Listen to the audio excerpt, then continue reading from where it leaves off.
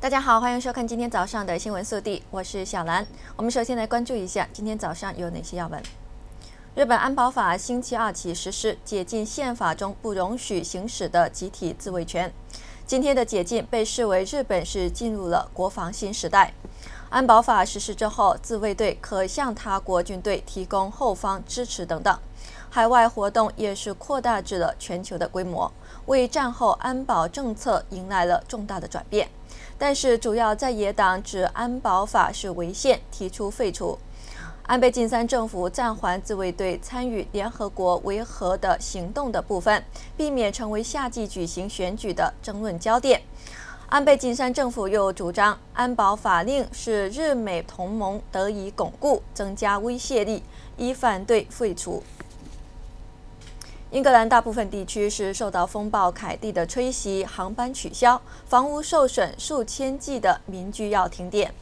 萨里郡有橡皮艇翻侧，一人失踪。凯蒂星期日晚上开始，以最高风速达到每小时将近一百七十公里吹袭了当地，一度有二十万户的居民停电。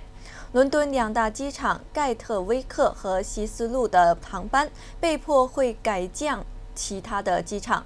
风暴带来了大雨，许多河流水位急速的上涨，当局发出了洪水的预警。铁路出现严重的延误，那不少的高速公路关闭，导致了交通的挤塞。比利时警方因为证据不足，释放了一名目前是拘捕怀疑参与布鲁塞尔恐袭的男子。这名叫做费萨尔的男子星期四被捕，当局指控他是参与恐怖组织、谋杀以及意图谋杀等罪名。警方搜查他的寓所，没有发现武器或者炸药。比利时传媒指出，他的名字是费萨尔谢夫，并引述消息指出，当局以为他就是机场闭路电视拍摄到与两名自杀袭击者易普拉辛和吉姆一起的穿白衫的一个男子。另外，当局又宣布恐袭的死亡人数增至了三十五人，当中不包括三名自杀式的袭击者。捷克总统泽曼在布拉格交相关地拉尼庄园是接待了到访的国家主席习近平。新华社就报道了两国元会会晤了两个多小时，期间散步、交谈、参观庄园的设施，双方就两国以及中欧关系等问题是交换了意见。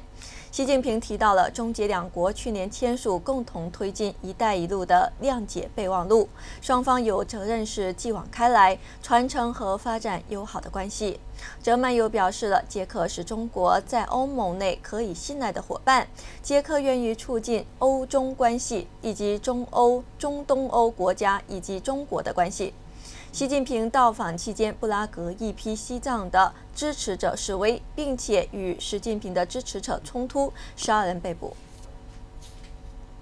山东济南非法经营疫苗系列的案件发生之后，国务院批准成立部门联合调查组，即日全面开展调查的工作、处理工作以及并且提交完善的疫苗监管工作意见。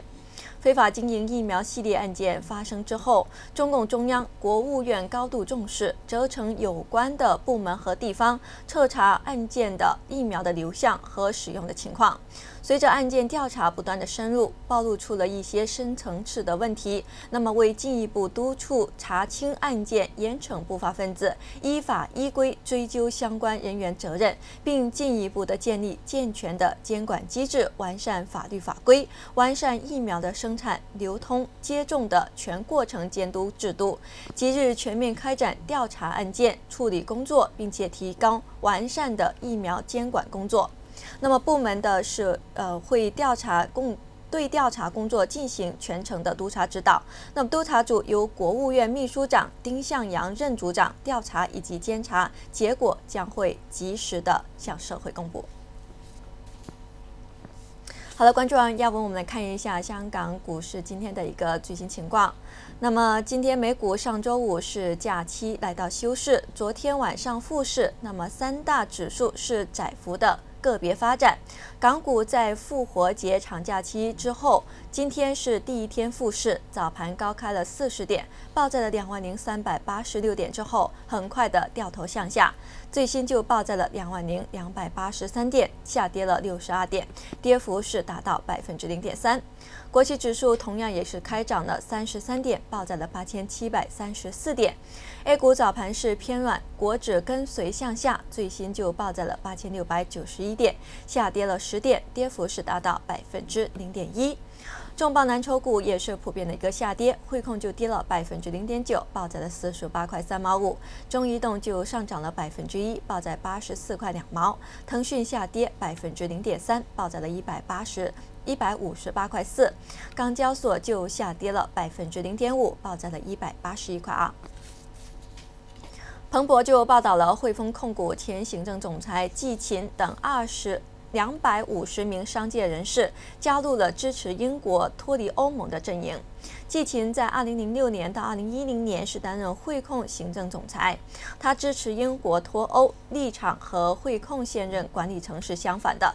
汇控管理层较早时就曾经警告，如果英国六月举行的公投是赞成脱欧，集团可能会把一千个职位是从伦敦迁移到巴黎。支持英国脱欧盟欧盟的组织就认为了，英国留在欧盟对大型跨国企业可能有利，但是对于中小企业，欧盟在就业方面做成了破坏。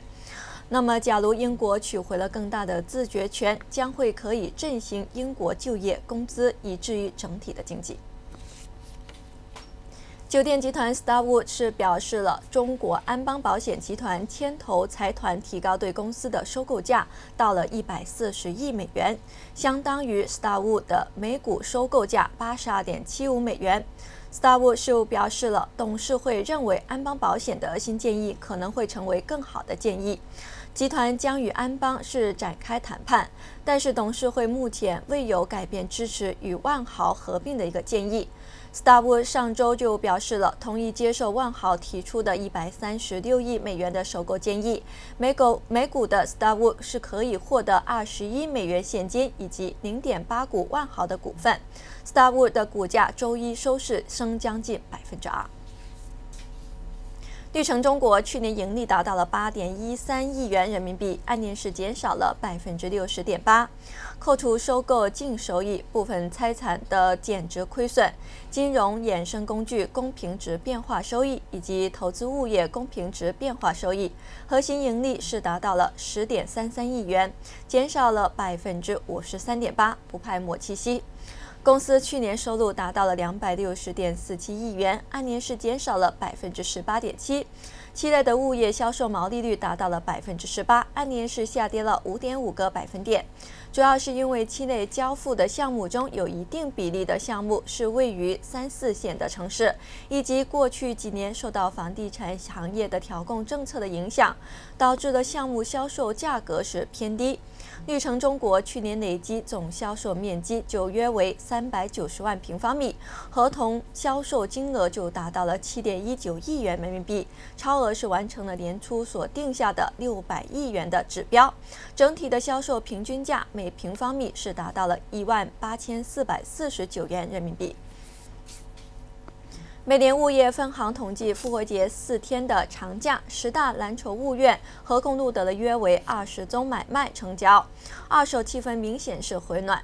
至于刚过去的周末以及周日，十大蓝筹物院共录得了约十五宗买卖成交，按月就上涨约百分之二十五，连续四个周末是录得双位数的水平。